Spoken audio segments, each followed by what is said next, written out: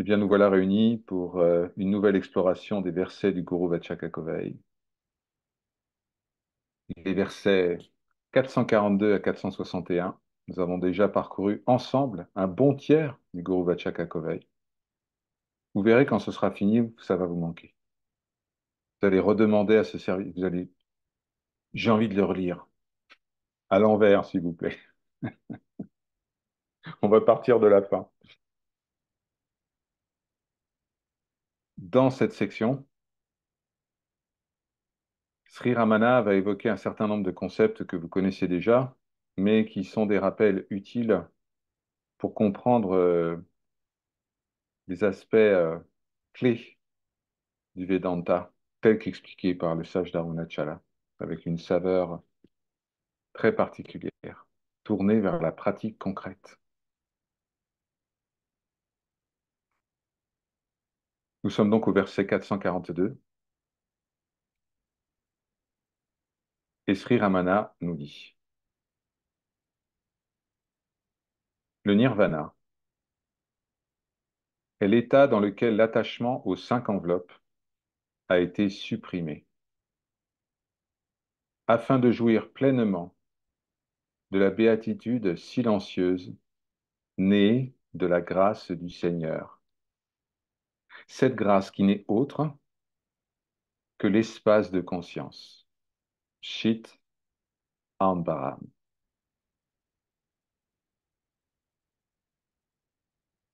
La béatitude silencieuse.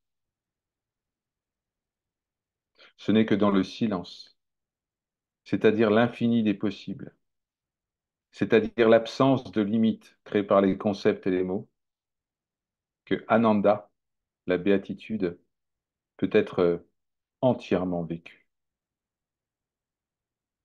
C'est le message clé. Comme vous le savez, le sage d'Arunachala enseignait souvent par le silence. Il ne répondait pas aux questions. Et lorsqu'il répondait, il utilisait le minimum de mots. Et lorsqu'il utilisait le minimum de mots, il marquait de grands espaces entre les mots, afin que celui ou celle qui posait la question se focalise non pas sur ce qui était dit, mais sur le contexte, sur le substrat sur lequel venaient se déposer les mots. Verset 443. Ramana dit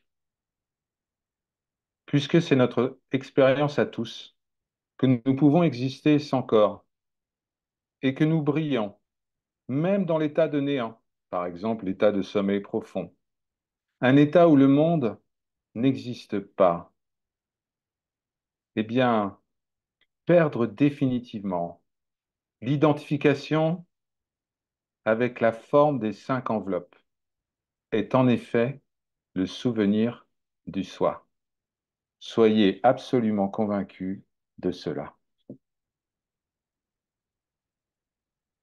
Vous vous rappelez des cinq enveloppes. Vous savez que le Vedanta ne parle pas uniquement du corps physique, il parle de cinq enveloppes qui sont comme des poupées russes qui viennent s'imbriquer les unes dans les autres. L'enveloppe extérieure, le corps physique, le corps énergétique, un peu plus intérieur, le corps mental, encore plus intérieur, le corps intellectuel, et puis enfin le corps causal,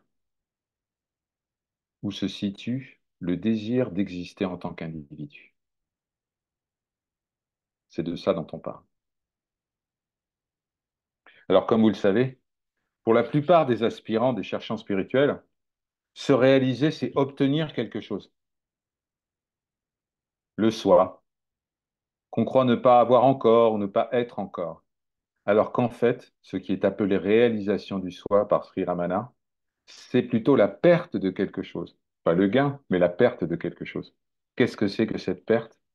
C'est la perte de la croyance que je suis un tel ou une telle. Pour faire de la place dans une pièce, il ne faut pas ajouter plus de place, il faut simplement retirer ce qui est encombrant, ce qui empêche de percevoir l'espace de la pièce.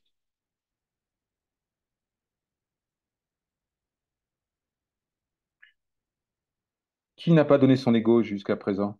Est-ce que certains d'entre vous ont cultivé un petit ego durant l'été, tout ça? Vous êtes repartis, euh, vous vous êtes dit, bon, Georgie est plus là, alors on va se lâcher. Il n'est plus là pour surveiller les opérations.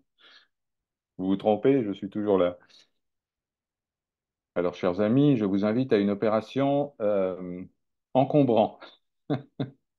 Normalement, c'est tous les mercredis, mais là, on va faire, on est le mardi. Donc, si vous avez des encombrants à confier à ce serviteur, n'hésitez pas, faites-le maintenant.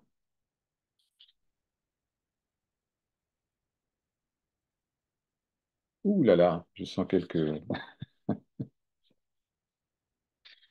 je sens quelques gros containers. On verra ça tout à l'heure. Verset 444.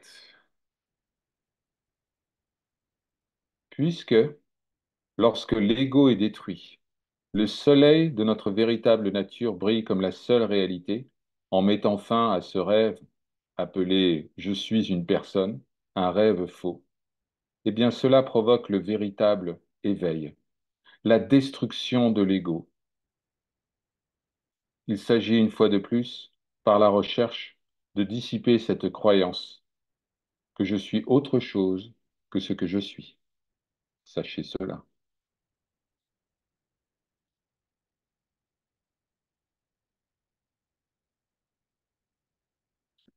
Verset 445. Un grand classique, un essentiel de la collection des paroles du gourou. Écoutez bien, c'est également dans la Bhagavad Gita, mais Sri Ramana le reprend. Quand je, mon, ma et mien sont détruits par la connaissance claire et vraie, qui est libre du savoir douteux au sujet de je suis le corps, eh bien, même en vivant dans ce monde illusoire, nous demeurons toujours en tant que cela. Vous vous rappelez peut-être de ces deux aspects, de ces deux euh, principes évoqués par la tradition Vedanta, ce qu'on appelle Mamakara et Ahamkara. Ahamkara, c'est l'idée que je suis une personne, l'ego. Mamakara, ce sont tous les possessifs qui viennent se soucher sur l'ego. Ma vie, mes problèmes, mon corps, mes amis, mes proches, mon passé, mon futur. Ces deux-là, Ahamkara, l'ego, et Mamakara, les possessifs, ces deux-là sont détruits par le grand feu de la connaissance du soi.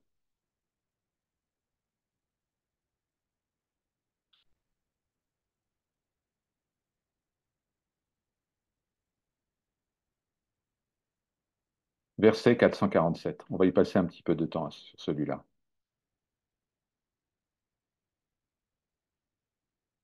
Parce que, en ce qui est, il n'y a que le silence. Parce qu'aucune pensée ne s'y élève. Parce que moi-je est une pensée. Et parce que le monde n'apparaît que lorsque le moi-je apparaît, alors il est su qu'il n'y a qu'un seul jeu, le jeu universel, indivisible, éternel, immuable. Il n'y a pas un jeu qui en regarde un autre. L'ego est une pensée qui s'identifie à jeu. Un corps qui est lié par le temps et l'espace, c'est l'ego.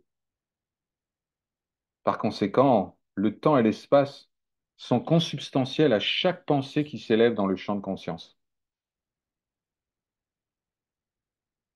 Gardons ceci en tête. Le soi n'est pas une personne. Je répète, le soi n'est pas une personne.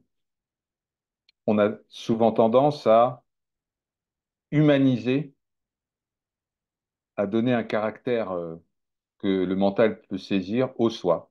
Le soi, c'est nous, mais en beaucoup mieux. Nous sommes limités, il est illimité.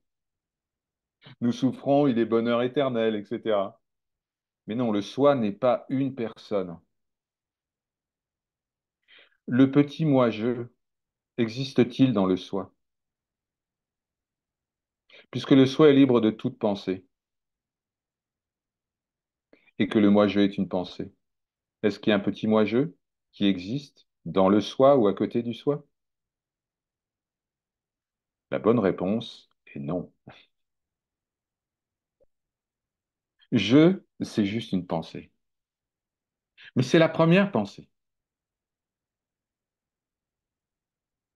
Mais cette pensée, en réalité, est un rêve, une illusion, un mirage, car rien n'émerge jamais du soi. Puisque si quelque chose émerge du soi, comme moi-je ou l'ego, ça veut dire que un devient deux.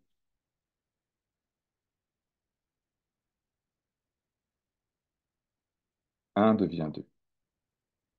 Or, comme vous le savez, votre véritable nature est immuable, elle ne devient pas. Et votre véritable nature est indivisible, donc elle ne peut pas devenir deux. Il n'y a pas d'un moi individuel qui surgit du grand champ de conscience et qui commence à l'observer, à vouloir le retrouver, à vouloir fusionner avec lui. Tout ça est pure illusion. Verset 448. Ce qui s'élève dans le corps, pardon, ce qui s'élève en tant que je dans le corps est appelé mental lorsqu'on tente de découvrir d'où cette pensée je s'élève, eh bien, on atteint rapidement le cœur, le cœur de l'être. Et lorsqu'on atteint le cœur, pouf, la pensée moi je disparaît. Comme le grand fantôme ou le petit fantôme qu'elle est. Et cela se produit, chers amis, tous les soirs en sommeil profond. L'illusion du petit moi-je semble retourner dans le grand champ de conscience universel, mais en réalité, rien ne retourne nulle part. Le mental ne peut comprendre cela, et c'est tant mieux. Cela prouve bien ses limites.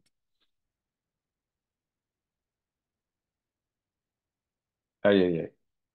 Sri Ramana passe maintenant à la vitesse supérieure. Verset 449.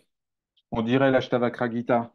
Il dit En dehors des pensées, il n'y a pas de Dieu. Il n'y a pas de monde. Il n'y a pas d'âme individuelle.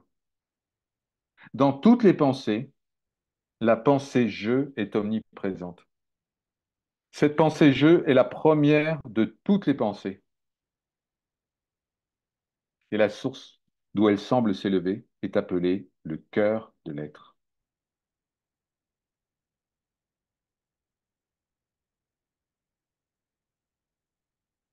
Dieu est une pensée, le monde est une pensée, l'individu est une pensée.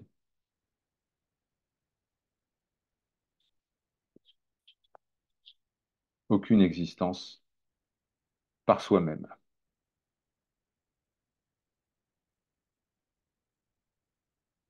verset 450. Ceux qui demeurent fermement dans le soi ne connaîtront jamais d'autre chose comme substrat, ne connaîtront jamais d'autre lieu que le soi. Ils sont la vérité brillant dans le un, une vérité qui donne place à toute chose, comme le fait un écran dans une salle de cinéma. C'est cette vérité brillante qui éclaire les objets de conscience et leur donne l'apparence d'être réels. L'ignorant, chers amis, ou l'ignorante, imagine qu'il est limité au corps. Et par conséquent, il expérimente l'univers comme étant en dehors de lui-même. C'est-à-dire qu'il pense que toutes les choses existent par elles-mêmes et qu'elles sont quelque part dans l'espace et à un moment donné. Et l'ignorant pense que le monde, le temps, l'espace, tout cela, c'est la base du réel. mais le Gyani, le connaissant du soi, sait bien qu'il n'est pas limité par un corps, et il sait qu'il n'est pas dans l'univers. Il sait que l'univers est en lui. C'est-à-dire qu'il expérimente que son existence, son être est la base sur laquelle, ou si vous voulez le lieu dans lequel toutes les autres choses, tous les phénomènes, y compris la Terre, l'espace, tout existe en lui. Il sait que parce qu'il est, parce qu'il existe, tout semble exister. Il est la base unique de toute manifestation.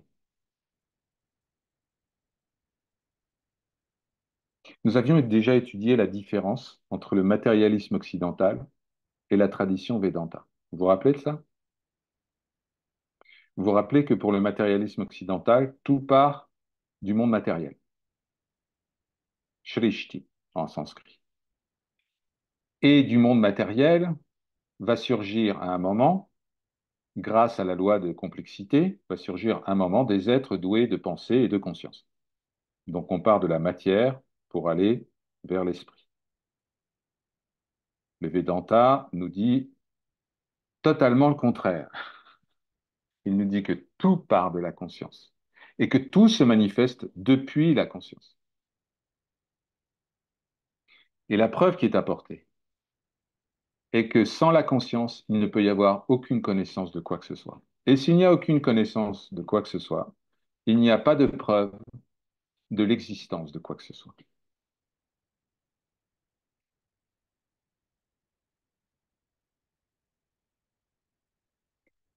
Tous les phénomènes, tous les concepts, toutes les pensées dépendent de la connaissance que nous avons à leur sujet. Et d'où vient cette connaissance? Elle vient de la conscience. Un grand philosophe occidental, Emmanuel Kant, ça vous rappellera vos cours de philo, a dit pas de connaissance, sans conscience, tout simplement.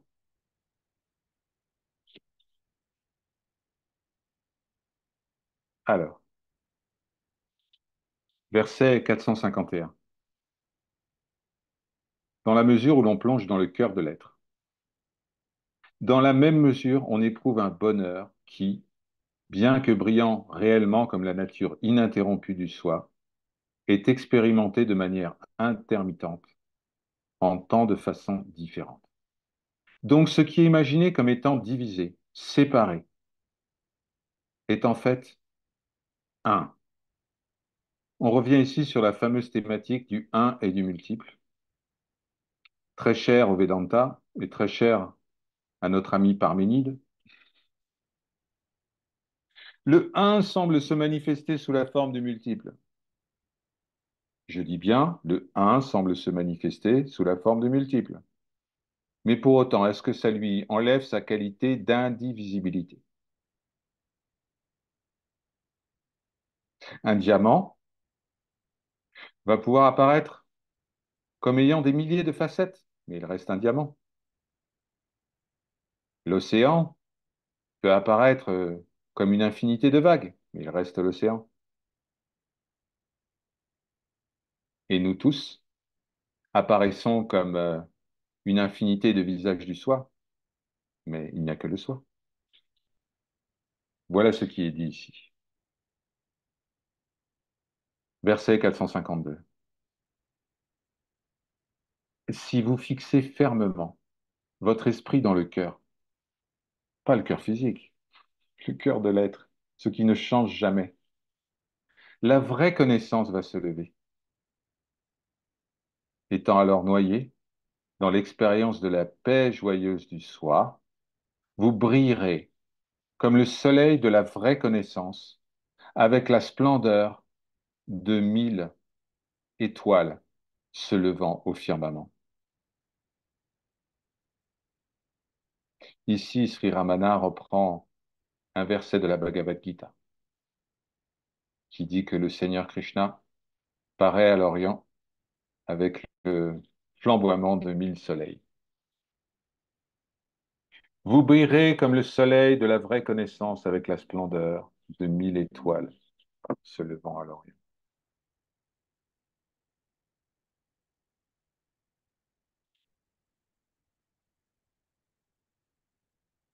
En fait, c'est déjà le cas, mais vous ne vous rappelez pas encore.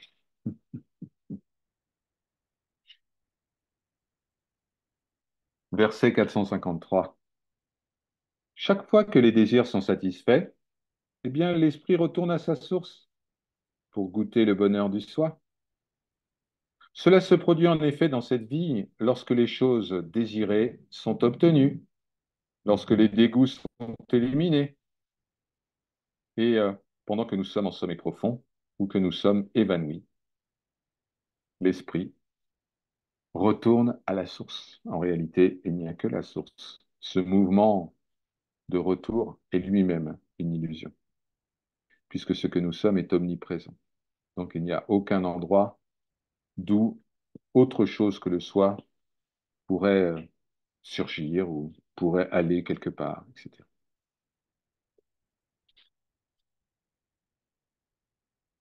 Verset 454. Dans cette vie insensée, faite d'illusions, d'illusions égoïstes, conçues par le petit esprit, le petit moi-je, y a-t-il quelqu'un qui éprouve le vrai bonheur de la clarté sereine qui brille lorsque la conscience révèle l'espace qu'elle est? La conscience n'est pas un réservoir de pensée. La conscience est l'écran sur lequel les pensées apparaissent. La conscience n'est pas faite de pensée. La conscience est pure vacuité. C'est le mental qui est trop plein.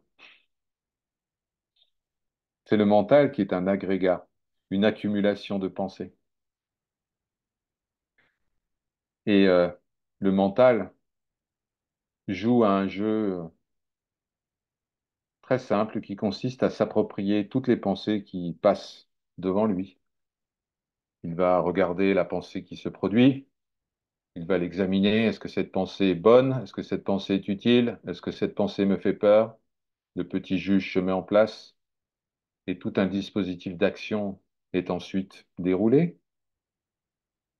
pour attirer ce que j'aime et repousser ce que je n'aime pas. Mais la conscience étant libre de toute pensée, tous ces mécanismes de rejet ou d'accueil ne sont pas applicables.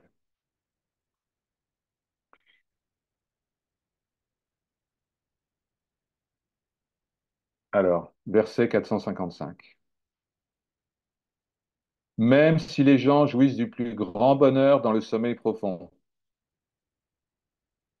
où aucune autre chose que nous-mêmes n'existe, eh bien, au lieu de comprendre que c'est le vrai bonheur et d'essayer de retrouver cela dans la vie, on continue à vouloir faire expérience sur expérience. On continue à vouloir obtenir ce que nous croyons être important,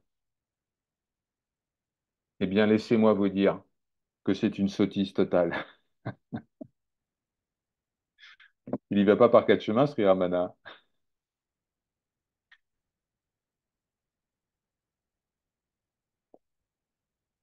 Alors, maintenant voilà un verset extrêmement important. Un classique du Guru Vachakakovei, le verset 456. Écoutez bien. L'ignorance ne concerne que les objets de conscience, que l'ego égaré contemple dans le sommeil et à l'état de veille. Mais l'ignorance ne concerne pas le soi. Je répète, l'ignorance ne concerne pas le soi. L'ignorance concerne le personnage que nous croyons être. L'ignorance que le personnage semble ressentir lorsqu'il s'agit de se souvenir de sa véritable nature. Mais l'ignorance n'affecte en aucune manière le soi qui est libre de tout qualificatif.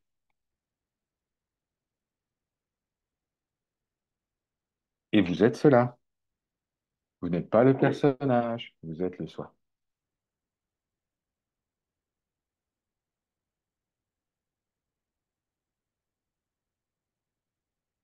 Verset 457. Le sommeil profond est qualifié d'enveloppe, kocha, uniquement parce qu'il y a oubli du moi-je. Alors, l'état de connaissance est jugé comme un état où en fait il y a lumière, il y a conscience d'être.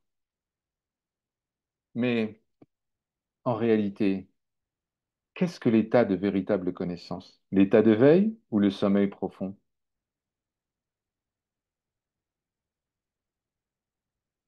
Sri Ramana précise, il dit, le sommeil profond, c'est pas l'ignorance, c'est l'état pur, libéré de toute pensée, y compris la pensée de je suis un tel ou une telle.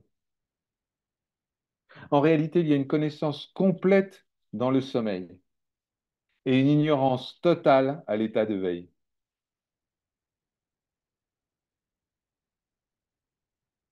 Ça suit pas l'intuition, pas du tout. On se dit, ben non, à l'état de veille, je suis conscient de ce que je fais, voilà. Pas du tout. Je rêve. Je rêve encore plus profondément qu'à l'état de rêve la nuit. Je suis tellement identifié à mon personnage que je rêve. Je rêve le monde avec une intensité tellement crédible que je suis totalement égaré.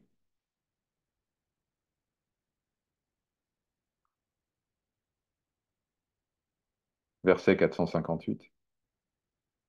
Celui qui, ne connaissant pas sa véritable grandeur, se trompe en pensant qu'il était incapable de voir quoi que ce soit pendant le sommeil, eh bien, celui qui pense qu'il était incapable de voir quoi que ce soit pendant le sommeil, eh bien, c'est l'ego. C'est le personnage. Parce que l'ego considère que les deux états, rêve et état de veille, sont réels puisque c'est là où il se déploie le plus.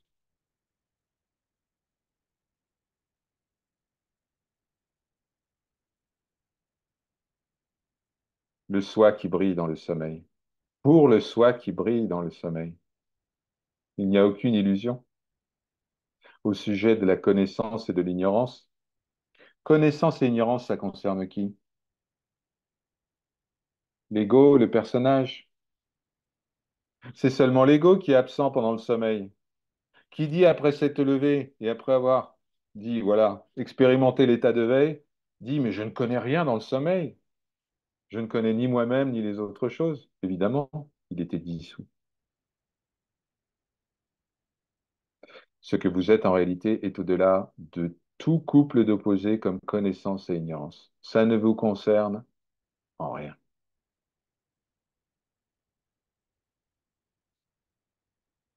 Alors, ah, voilà un sujet cher à Ananda Mahima. Verset 459.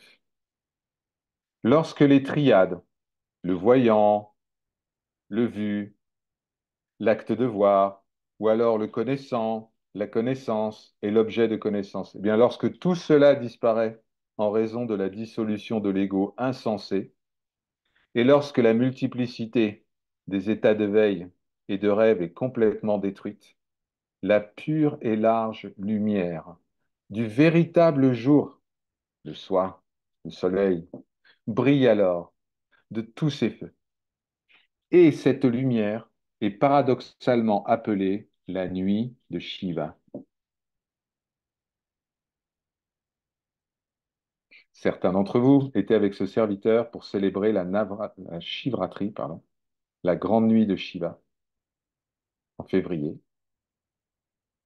Eh bien, cette grande nuit est en réalité la plus belle des journées.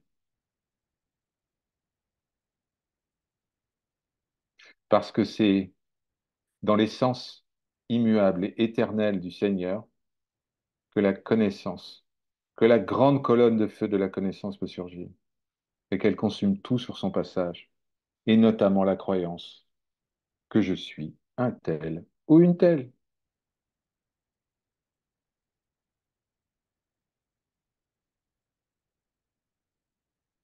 verset 460.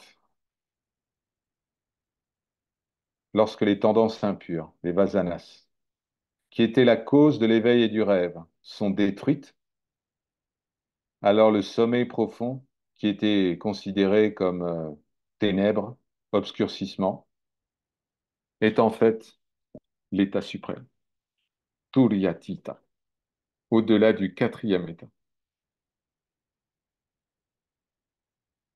Pourquoi c'est l'état suprême?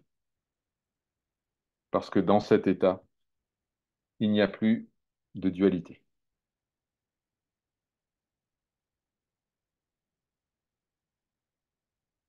Le 1 sans second est vécu pleinement. Pas besoin de méditer 25 ans, pas besoin de faire monter l'énergie Kundalini, pas besoin d'avoir des extases spirituelles, non. Simplement se déposer dans les bras de Morphée, ou plutôt dans les bras de Ma, constater la permanence de l'expérience non duelle. Verset 461.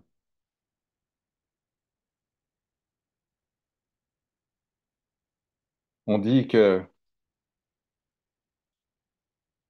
l'Ananda Maya Kosha, c'est-à-dire l'enveloppe de béatitude, l'enveloppe causale, qui fait transiter de l'état de veille à l'état de sommeil, eh bien, lorsque cette enveloppe est euh, ignorée, puis masquée par Vijnana Maya Kosha, l'enveloppe de l'intellect, alors le puissant ego semble se manifester.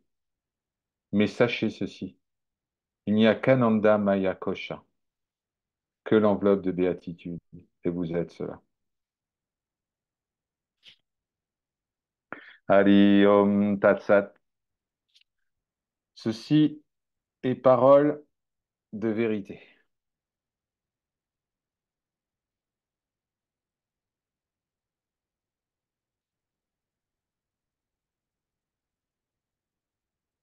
Merci pour votre écoute. Nous avons abordé une série de versets qui étaient un petit peu ardus, mais euh, avec votre connaissance du Vedanta maintenant et des grands concepts du Vedanta, vous avez certainement capté la beauté parfois poétique de certains versets lorsqu'il est question des mille soleils qui se lèvent à l'Orient. Euh, de cette grande lumière qui commence à paraître au firmament. Qu'est-ce qui apparaît? Vous Est-ce qu'il y a une grande lumière extérieure à vous-même? S'il y a une grande lumière extérieure à vous-même, alors on va encore objectiver le soi. On va en faire un objet mental à étudier, etc. Mais ce dont il est question ici, c'est de Tatuamasi. Tu es cela? Un jour, ce serviteur a posé la question à Michael James. Pourquoi le Guru Vachaka Kovei euh, comporte mille pages? On aurait pu écrire Tatuamasi sur une seule page. Ça aurait été largement suffisant, non? Mais non. Le mental a besoin d'explorer des concepts, même si ces concepts sont du poison pour lui. Parce que lorsqu'on dit euh, le mental n'existe pas, rien ne retourne à la source. Toutes les pensées au sujet du monde, de Dieu et des individus sont des illusions, etc. Pour le mental, c'est catastrophique. Voilà, on aurait pu écrire Tatwam Asi dans un satsang euh, célèbre. Robert Adams,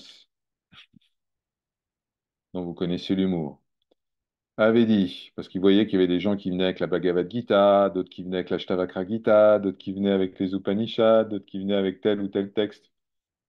Alors il a pris un paquet de pages blanches, il a dit voilà mon livre.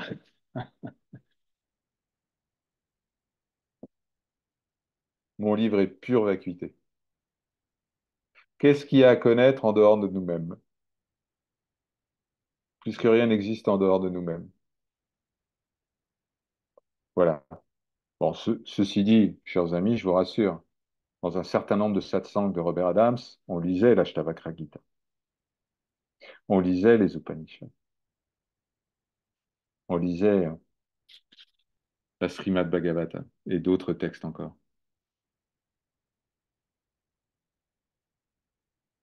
Mais en réalité, nous jouons.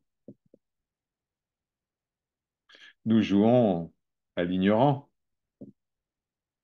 Et puis, poum, nous nous couchons le soir et nous nous rappelons de notre véritable nature. On arrête de jouer. Qu'est-ce qui se passe en sommeil profond? Ce qui est expliqué ici par Sri Ramana, par l'intermédiaire de Sri Murugana. Toute la théorie, toute la praxis proposée par l'Advaita Vedanta devient réelle. Elle s'incarne, si je puis dire. Ce n'est plus euh, un concept, c'est la réalité.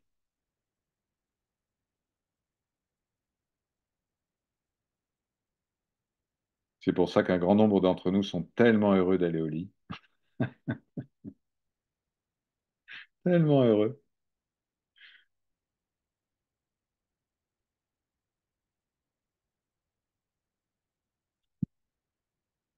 Maintenant est venu le temps des questions, des commentaires. Tout est bienvenu. La parole est libre.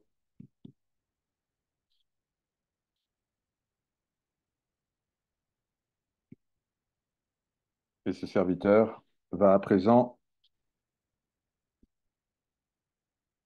stopper l'enregistrement de cette session partage, par sa grâce.